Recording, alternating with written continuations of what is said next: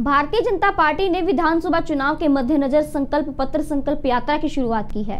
हिसार में भारतीय जनता पार्टी के प्रदेश अध्यक्ष सुभाष बराला ने हरी झंडी दिखाकर इसकी शुरुआत की। यात्रा में शामिल वाहन में सरकार की उपलब्धि को गिनाने के लिए एलईडी स्क्रीन लगाई गई है। वहीं आगामी सरकार को लेकर लोगों से सुझाव जानने के लिए सुझाव पेटी भी रखी गई है। संकल्प पत्र, संकल्प यात्रा प्रदेश के सभी जिलों में निकाली जाएगी। आगामी एक अगस्त को करनाल में ओम प्रकाश धनखड़ कृषि मंत्री इस यात्रा को हरी झंडी दिखाकर रवाना करेंगे।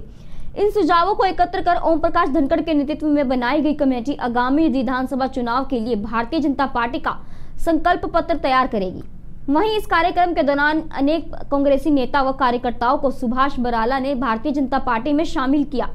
इस यात्रा की जानकारी देते हुए सुभाष बराला ने बताया कि गुरुग्राम से मुख्यमंत्री मनोहर लाल खट्टर ने भी संकल्प पत्र, संकल्प यात्रा को हरी झंडी दी है। वहीं आगामी एक तारीख को ओम प्रकाश धनखड़ करनाल से इस यात्रा की शुरुआत करेंगे। वहीं सुभाष बराला ने कांग्रेस पार्टी से बीजेपी में शामिल हुए नेताओं और कार्यकर्ताओं को शुभकामनाएँ देते हुए कहा कि सभी मिलकर भारतीय जनता पार्टी को मज़बूत करने का काम करेंगे। कुलदीप बिश्नोई के संस्थानों पर हुई आयकर विभाग की कार्यवाही को लेकर सुरजेवाला के आरोप पर प्रतिक्रिया देते हुए सुभाष बराला ने कहा कि जब रेड पड़ती है तो यह लोग दूसरी तरफ़ की भाषा बोलते हैं।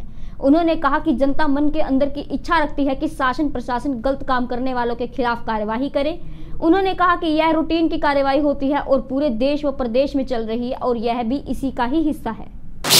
अब ये जब रेड पड़ती है तो दूसरी तरह की भाषा बोलते हैं। और जब जनता इस प्रकार की मन के अंदर इच्छा रखती है कि गलत काम करने वाले कोई भी लोग हैं, शासन प्रशासन उनके खिलाफ कार्रवाई करे तो ये रूटीन की कार्रवाइयाँ होती हैं। पूरे देश के अंदर इस प्रकार की छापेमारी चलती है और उसी का हिस्सा है कि इस प्रकार की छापेमारी यहाँ पर हुई।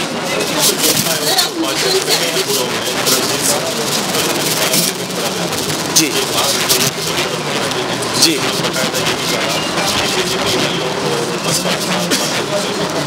देखिए, ये लोग पहले तो अपनी पार्टी को संगठित रखने में कोई कामयाब हुआ नहीं। इनकी पारिवारिक पार्टी जिसमें बड़े लंबे समय तक ये रहे, उस पार्टी के तो टुकड़े पता नहीं कितने हुए, और वो टुकड़े आज भारतीय जनता पार्टी के साथ आकर के मिले।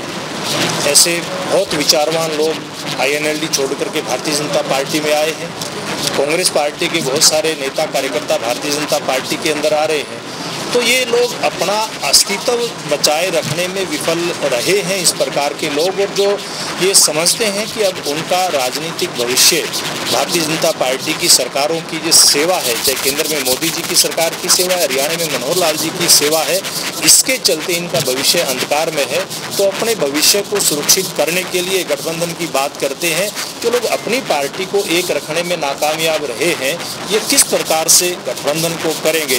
कौन गठबंधन करेगा किससे गठबंधन करेगा तो इस प्रकार के गठबंधन का कोई भविष्य नहीं है ये हो ही नहीं सकता। कांग्रेस नेतृत्व बदलने की बात कर रहे कांग्रेस नेतृत्व बदलने की बात कर रहे हैं देखिए मुझे नहीं लगता कि इन बातों से कांग्रेस के ऊपर कोई फ़र्क पड़ेगा। हुडा साहब पहले भी पूर्व मंत्री मुख्यमंत्री के नाते इस पार्टी का नेतृत्व करते रहे हैं।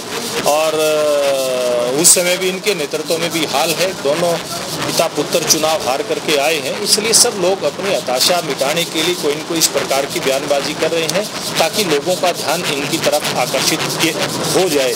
लेकिन दूसरी तरफ़ भारतीय जनता पार्टी, जो पार्टी विद द डिफरेंस के रूप में जानी जाती है, आपने देखा होगा कि पिछले दिनों से, चाहे वो लोकसभा के चुनाव में पहली बार भारतीय जनता पार्टी को 10 की 10 सीटें मिली हो, केंद्र में इतने बड़े बहुमत के साथ हमारी सरकार बनी हो, उसके बावजूद भी भारतीय जनता पार्टी का बूथ स्तर के कार्यकर्ता से लेकर के और हमारा राष्ट्रीय अध्यक्ष तक आज घर पे नहीं बैठ रहे हैं। हर हमारा कार्यकर्ता, नेता, चाहे वो विधायक, मंत्री, सांसद, चाहे केंद्र में मंत्री, चाहे प्रदेश में मंत्री है, ऐसे सब कार्यकर्ताओं की टीम जनता के बीच में और भारतीय जनता पार्टी को मज़बूत करने में लगी हुई है।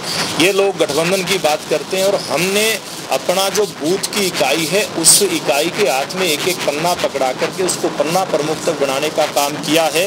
और हमने एक तैयारी की है अभी पिछले दिनों के मुख्यमंत्री जी के नेतृत्व में। अभी आ, हो सकता है अठारह तारीख को वो टेंटेटिव डेट ही मैं अभी बता रहा हूँ। एक यात्रा शुरू होगी पूरे प्रदेश में और सितंबर मास में उसकी टेंटेटिव डेट भी आठ सितंबर अभी हमने रखी है। कंफर्म एक बार बाद में करेंगे आपको। तो उस समापन पर एक बड़ी रैली करेंगे जिसमें लगभग बीस हज़ार के आसपास बूथ हरियाणा प्रदेश में है। हर बूथ से हम इन पन्ना प्रमुखों को लेकर के आएँगे और तीन लाख पन्ना प्रमुखों का सम्मेलन प्रदेश में होगा। हम इस तैयारी के अंदर लगे हैं। हम इस तैयारी के अंदर लगे हैं, जिसके जिसके कारण से हमें पार्टी विद डिफरेंस कहते हैं कि कल हमारे जयप्रकाश नड्डा जी कार्यकारी अध्यक्ष हैं। भारतीय जनता पार्टी के अखिल भारतीय दो दिन से रोहतक में थे। हमारी पार्टी के राष्ट्रीय अध्यक्ष से लेकर के और हमारा बूथ अध्यक्ष एक स्थान पर एक बूथ के ऊपर जाकर के, यानी कि रोहतक के अग्रसेन मंडल, जो भारतीय जनता पार्टी की दृष्टि से हमारा मंडल है, उसके 146 नंबर बूथ पर गए और उस एक बूथ के अध्यक्ष के साथ बैठ करके वहाँ पर बूथ का अध्यक्ष भी है, वहाँ पर मंडल का अध्यक्ष भी है, वहाँ पर ज़िले का अध्यक्ष भी है, वहाँ पर प्रदेश का अध्यक्ष भी है, वहाँ पर भारतीय जनता पार्टी का राष्ट्रीय अध्यक्ष भी है और वहाँ पर पार्टी की सदस्यता होती है इसी प्रकार से आम जन के बीच में जा करके तो हमारी पार्टी इतने अच्छे प्रदर्शन के बावजूद भी इस स्तर पर काम करने में लगी हुई है। पार्टी को मज़बूत करने में लगी हुई है और विरोधी दल अपने आप को संभाल भी नहीं पा रहे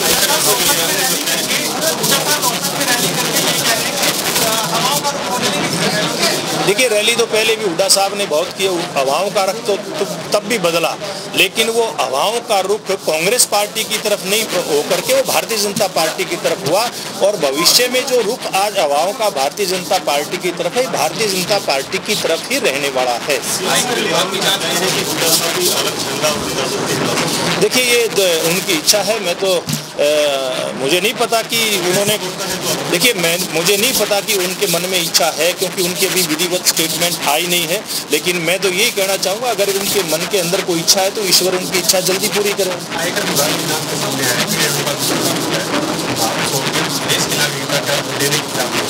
देखिए मुझे नहीं इस बात की जानकारी की हकीकत क्या है लेकिन भारत का कानून बड़ा मज़बूत है।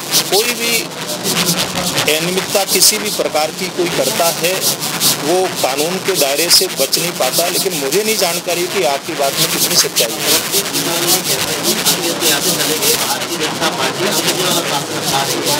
देखिए, ये मुझे लगता है उनको अपने शासनकाल की याद आ रही है। उनको शायद इमरजेंसी की याद आई है, जिस कांग्रेस पार्टी की वो चर्चा कर रहे हैं, उस कांग्रेस पार्टी ने किस प्रकार से लोकतंत्र की हत्या करने का काम किया था और भारतीय जनता पार्टी तो ये भारतीय लोकतंत्र किस प्रकार से मज़बूत हो, इस बात के प्रयास में लगी हुई है, किस प्रकार से इस राष्ट्र के निर्माण में भारतीय जनता पार्टी का एक एक कार्यकर्ता लगा हुआ है, ये शायद रणदीप सिंह सुरजेवाला इस बात को समझ नहीं पा रहे हैं, लेकिन दुनिया इस बात को समझ गई है, देश की जनता इस बात को समझ गई है और इसीलिए भारतीय जनता पार्टी पार्टी को इतना बड़ा बहुमत देकर के जनता ने दोबारा से मोदी जी को प्रधानमंत्री बनाया। धन्यवाद। बहुत हम तैयार की हैं, जिसमें लोगों के सुझाव लेने के लिए पेटी रखी है।